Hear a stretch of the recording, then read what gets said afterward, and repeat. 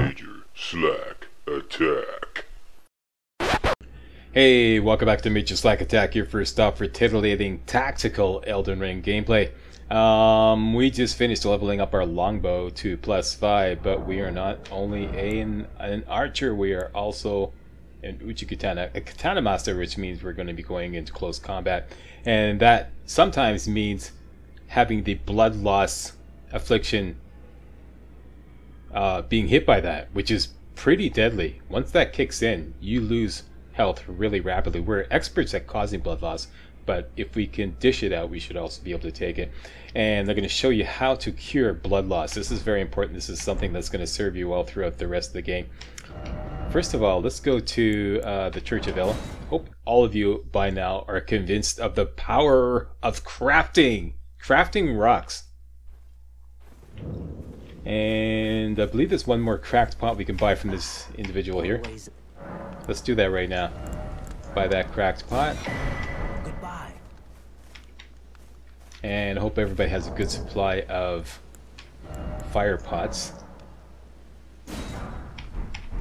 At the end of the video, I'm going to give you guys all a homework assignment to craft up a whole, or rather, farm up a whole bunch of smoldering butterflies. I already showed you where to get this just north by northeast of the War Master Shack. That's where you can get some smoldering butterfly. And you can get some mushrooms way down here at the south end of Agheel Lake. There's a mushroom right there. You can just go here, rest, grab the mushroom, go back, rest, grab the mushroom, and again, again. Get yourself a whole bunch of mushrooms and smoldering butterfly. That's your homework assignment, all right? Um, for the end of this video. For now, we are going to get the recipe book. This starts off by going to Stormhill Shack. Yeah, we're going to get the recipe book to create stanching boluses. Hope I'm pronouncing that correctly. I didn't bother to look it up. Stanching boluses will cure blood loss. And that is located halfway up the secret passage that bypasses Stormveil Castle. In case you don't know about this, here at Stormveil, Stormhill Shack, you typically take this curving road around here, and then you come down here, and you meet Margit the Fell, do that boss fight there, then you start the Stormhill Castle run. Stormhill Castle run finishes off here. In this area here, you do the Godrick the Grafted uh, boss fight, and then you end up in the throne room here, and then this pops you out into a new area, a big new area called Liurnia of the Lakes which is this whole northern section right here, just north of Limgrave. You don't have to fight Margit the Fell or um, Godrick the Grafted to get past that area. You can actually go through a secret passage right here. Okay, you usually take this curved road around, but instead you can just go straight underneath this bridge up here. Talk to this NPC, go along to this bridge. The bridge is broken, you just jump down here go up here and then you find this kind of like skinny kind of ravine slash tunnel that goes all the way up and pops you out right here at the same spot that you would come out had you fought Godrick the Grafted. And right here, that's where the recipe book is for stanching boluses. Nomadic Warriors Cookbook number 7. Let me just get rid of my other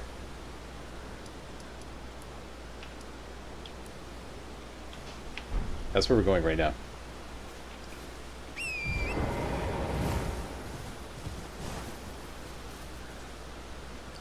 Those soldiers, we can easily wipe them out with a couple of fire pots, which is a really fun way to do them. Do them, man. Here's some mushrooms.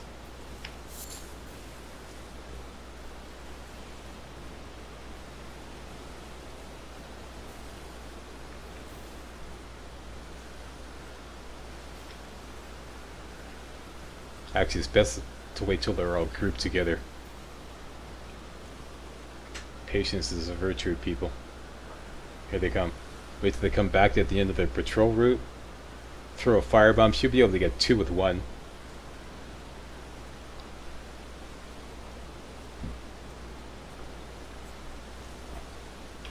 Your firebomb's ready. Wait till they stop. Let them have it. They stop.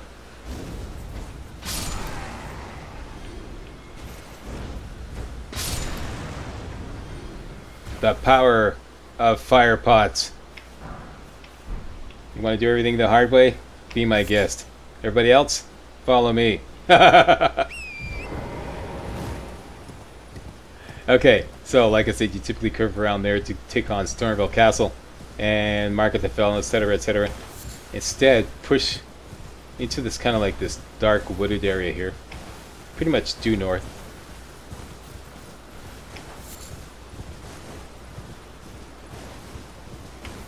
I have a newfound respect for Rowa fruit. You find this road here and follow this road up. Show you the map where I am.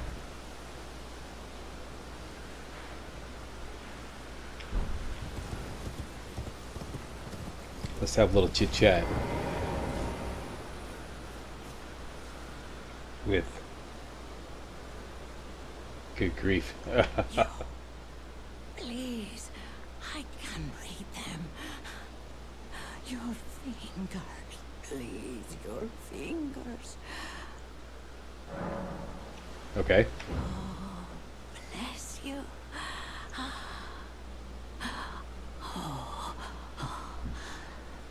Head to the foundation of gold tarnished. Traverse Raya Lucaria, glintstone eventide, and reunite the half crescents at the grand lift. Oh, but the bridge is collapsed and cannot be crossed. Only, why should that matter?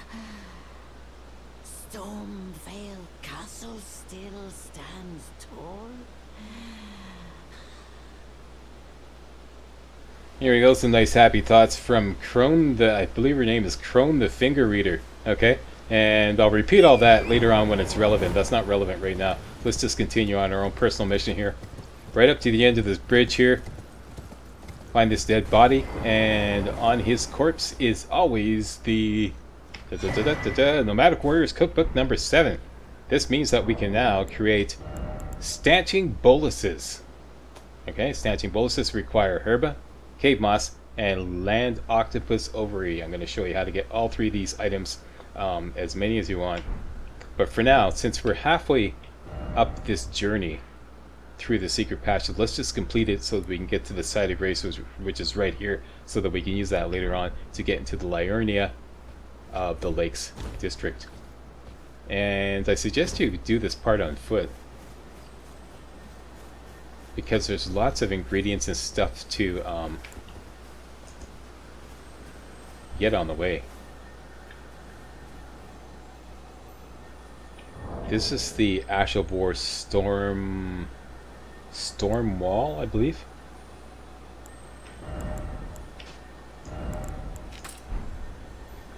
A couple of mighty shots should do this in.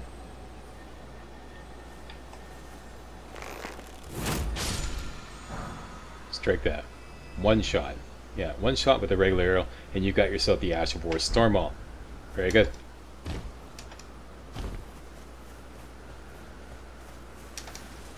Okay, so there's a lot of wolves um,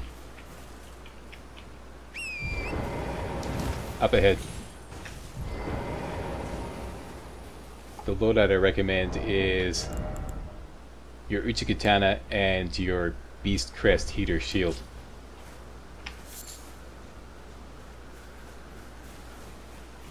Don't forget guard counter works just as well on wolves.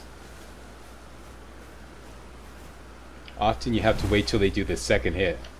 Am I heavy loaded? No, I'm medium loaded, okay. Collect all these Rowa fruit. These are actually, um, I have new, like I said, I have new, newfound respect for Rowa fruit.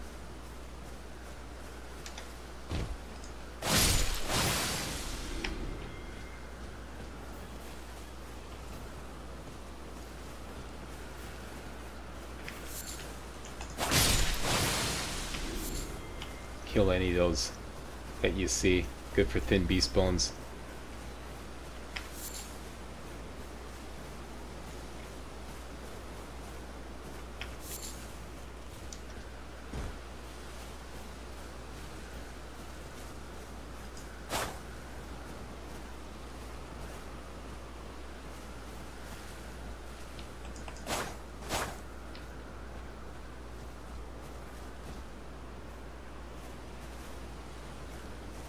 Okay, we're in doggy country. We'll probably take out a couple of them. Like that, just to thin their numbers.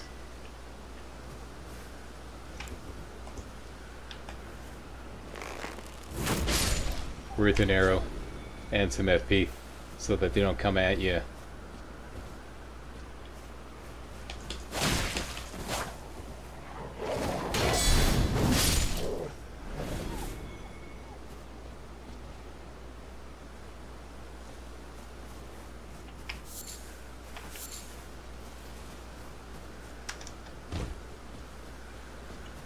Some shrooms here.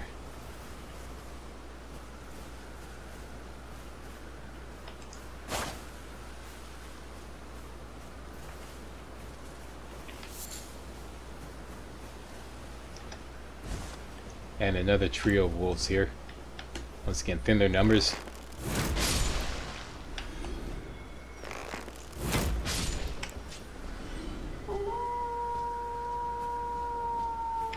That's right, doggy.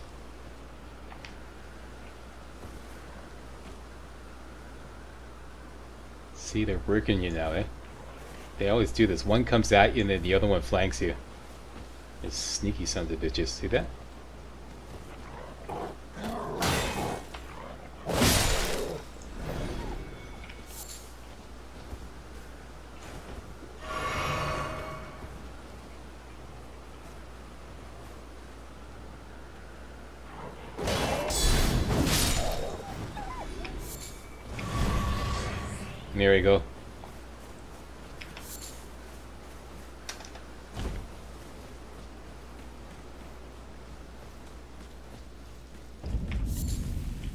Liurnia of the Lakes, we have arrived.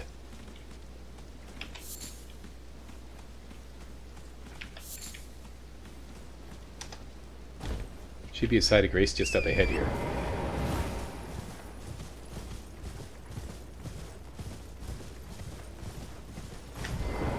Great. So, this will be there. Table this for a later date. We now have an entry into this whole area here. And as you can see, there is a map fragment right there. We just get there, we can map out this whole area. Table that for a later date. For now, what is wrong with my game here? It won't Uh oh I think the game crashed. Uh, the game crashed on me. Okay, I'm better now. Um, that was unusual. Alright, so like I said, we've got this site of grace discovered here. We have an entry into the Liurnia the Lakes district. And we'll table this for a later date. Let's continue with, uh, we also have the recipe for stanching boluses. Uh, I'm going to show you how to farm all the ingredients for stanching boluses. Right now, let's just take a little look-see. It requires herba, cave moss, and land octopus ovary. Let's do it in the order that it appears. Herba. Go to Church of Elleh, and there's one herba right there. We just turn around right from the uh, the drop-off point, and there's one right here. Grab it. Return, rest, recharges and rinse repeat. Okay, as many times as you like. I already have some... I have six. Next. Okay, so that's part of your homework assignment as well. Farm up a whole bunch of herba. And I'm Canadian, so we pronounce the H in herb. I know that in the States it's pronounced herb, I think, I believe. Um, yes, I'm Canadian, so we do the British pronunciation, which is herb, the normal pronunciation. I'm kidding, I'm kidding. Next, cave moss. You can find a ton of cave moss in Groveside Cave. We've already discovered this. It's right in between Gatefront and the Church of Elleh. Groveside Cave. Bunch of wolves in there, but there's a whole bunch of cave moss in there as well.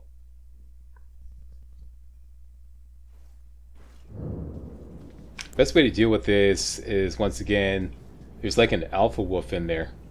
And your best loadout, uh, instead of the Uchikatana, is the torch, believe it or not. This is actually a formidable weapon.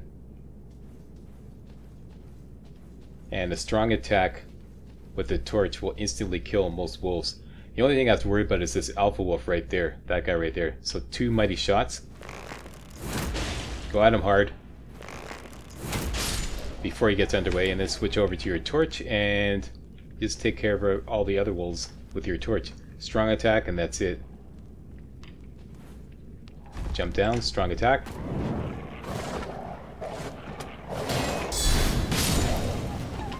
And if you miss, just do a guard counter.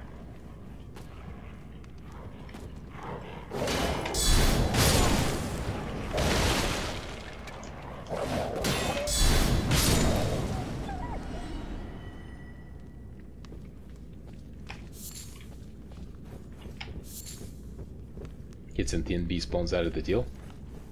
Let's take care of one more down here.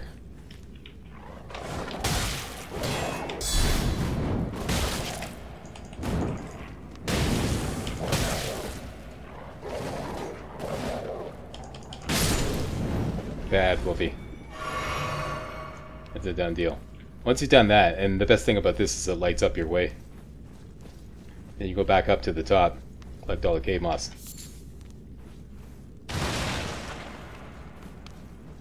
Just basically go clockwise around. Whoops, wait a minute. Sorry about that.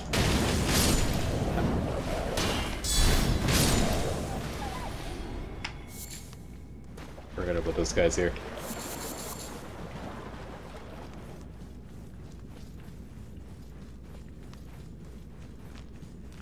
More cave moss down here.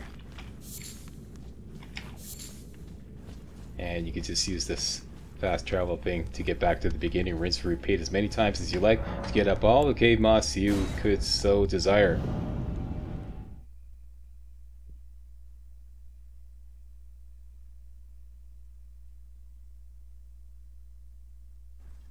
By this point you should have enough money to level up. Points into vigor until further notice. Yeah, we we got to start tanking up. Okay, increase our health. Next, land octopus ovary. Lots of land octopi can be found in the ravine just below Saint's Bridge. Right here, Saint's Bridge.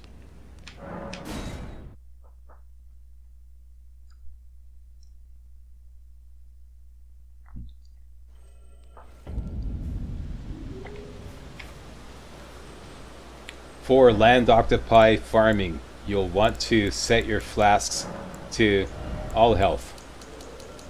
Just for a little security, okay? Won't be needing FP that much. And let's wait till daytime because it's going to be dark down there, so get a lot of light on the scene. Noon. Land octopus, land octopi rather. Use the proper plural, plural uh, they're vulnerable to hemorrhaging. And we have a couple of great Uchikatanas one with the determination skill on it. Use that. And make sure you have your shield in your left hand. That's very important because they can pack a punch. They could take you down in a New York minute. And your bow with bloodbone arrows ready to go. Okay that's your loadout. From this point here See this little ledge here? You can climb up this little ledge. And you're going to find a spirit spring right... See that wind there? So you can just double jump over onto the spirit spring and this will let you down gently. And immediately turn to the right and run up the ravine here.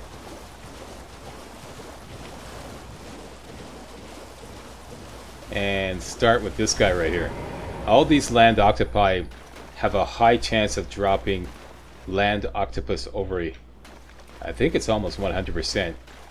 Maybe not, but it's very good risk. Oh yeah, and these dragonflies, best way to deal with them is guard counter. Just lock on, wait till it attacks you, guard counter, and it's a done deal. Takes a little patience, but they're really annoying. So you want to take care of these guys. That's all there is to it, alright? So take care of him, switch over to your bow, blood bone arrows. You're gonna hit him with a couple of arrows. This will stack up. This will stack up the hemorrhaging affliction on him, and then we're gonna rush him with the Uchi Katana and just attack him until he goes down. And then you're gonna see a little bright orange light on his like face or beak or whatever, and that indicates that you can do a critical hit. Hit that with an attack, and you'll do a critical hit, do massive damage, and then finish him off. That's the plan. Let's do it. A couple of Bloodbone arrows. One, two. Switch over to the Uchikatana. Rush up. Keep your guard up.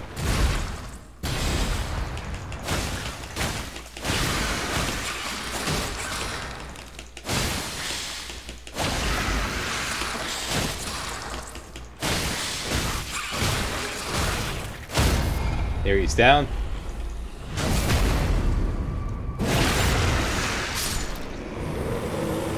Do a critical hit, and he's done. Now, I took a little heat. This is to be expected, so keep an eye on your health and refill as necessary.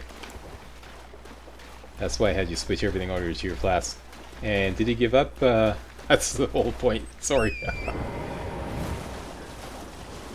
he gave up. I've never seen these guys not give up a land octopus ovary. There you go. Let's go do another one.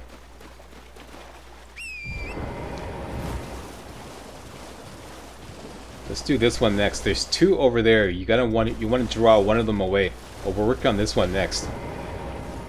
Same deal. A Couple of hemorrhaging blood bone arrows. Oh, it already kicked in. Okay.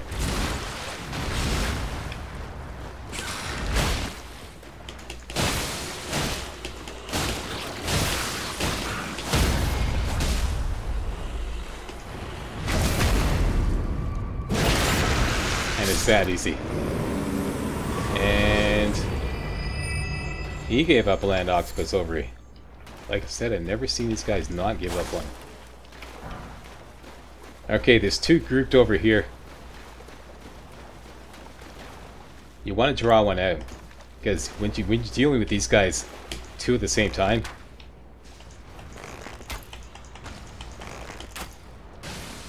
I kicked in the hemorrhaging right away. You could just go all arrows, but what's the point using up your bloodbone arrows when you don't have to? You could just use your Uchikatana. Take a little heat, like I said.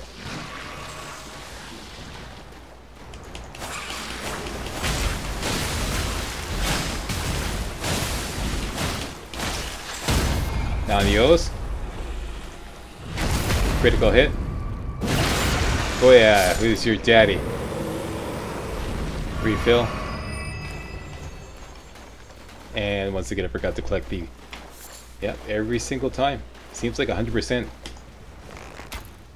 Let me know in the comment section if you're getting 100% drops of land octopus ovary from these guys.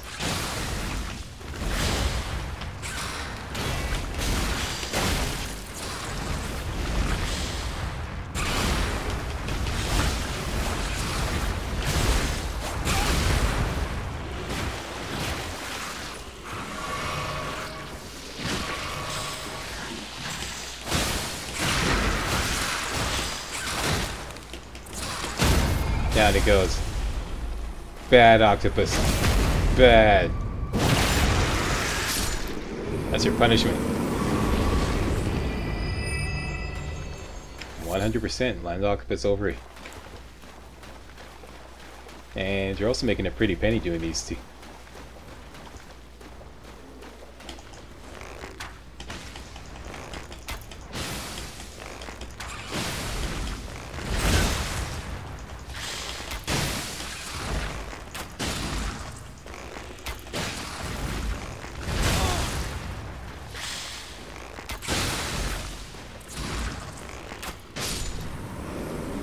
Here, is an example of using just bloodbone arrows to take him down. But like I said, you can save on bloodbone arrows um, by going it with the Uchikatana. Alright, so there we go. We got a great big supply of land octopus ovary. So that's it. That's all three ingredients we need to make stanching boluses. Let's make up some. Let's make five. And hotkey those because they're going to be very useful.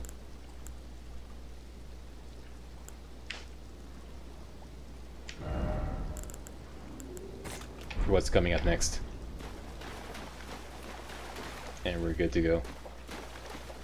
Oh, there's the Trina's Lily here. I didn't know that. That's useful. Okay, so. Y'all got some farming to do. Like I said, I want everybody to farm up a big supply of smoldering butterfly. Found at this location here. Just look for the, the curve ridge here, which is just north by northeast of Warmaster Shack. Then go down to Agheel Lake South.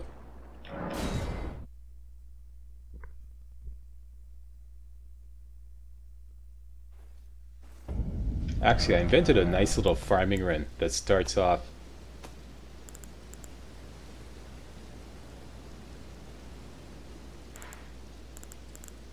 at Warmaster Shack.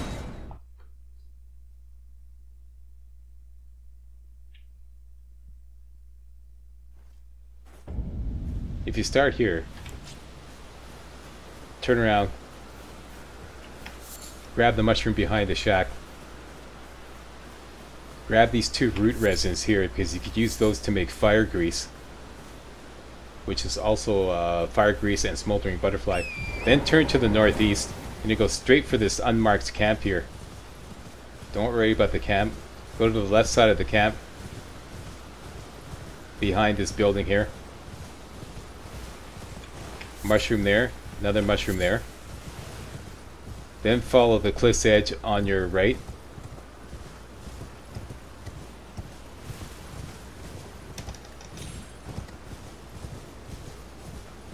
Straight north to these two fire slugs. I've showed you this before. Grab up all these tons of smoldering butterfly here. Which we now know are useful for a number of recipes.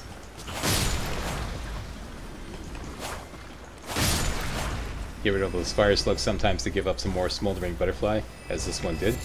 And finally, go to the east to this building here, and there's the mushroom here. There you go. Those are the ingredients for fire pots. Instant batch of fire pots. Do that little run there. Plus you have some ingredients to make some fire grease. I believe we have the recipe for that right away. Yep, we do. Root resin and smoldering butterfly. Okay, so I want everybody to farm up a whole bunch of smoldering butterfly and root resin. And like I said, then head to Agheel Lake South.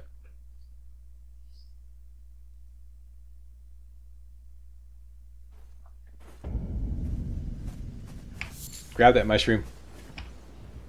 Rest.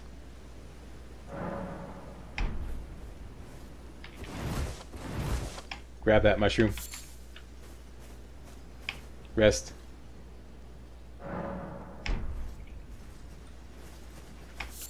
Rinse, repeat. It's really easy. Alright? So, when we start the next episode, I I hope everybody's going to have a big supply of smoldering butterfly, which can be used in a number of different recipes.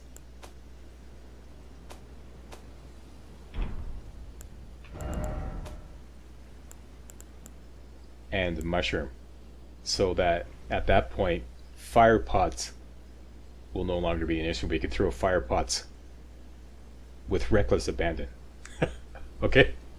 That's important. We're going to be using fire pots a lot. Something I just realized recently, fire pots actually, um,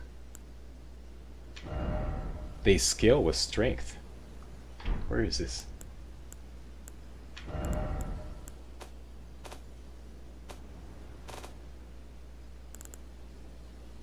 Look at that. They actually scale with strength and dexterity, but mostly strength. So yeah, the higher your strength, I'm assuming the more powerful the fire pots. That's it. And um, what's coming up next, we're going to be using those stanching boluses. So make sure you got some of those. Okay, so thanks a lot for watching. And if you thought this was remotely entertaining and or informative, you know what to do. Give me a thumbs up, subscribe, post a comment, stuff like that there. See you next time when we go for the Bloodhound's Fang weapon. This kick-ass weapon that's going to be really useful to help take down bosses. Alright, see you next time. Hey guys, real walkthroughs like these are an endangered species here on YouTube. For a complete lowdown on the YouTube video game walkthrough scene, check out my Patreon page and please consider making a donation to yours truly, Major Slack, to help keep real walkthroughs alive on YouTube. You can donate as little as $1. That's $1, that's all. That's all it takes, alright? Thanks a lot, really appreciate it.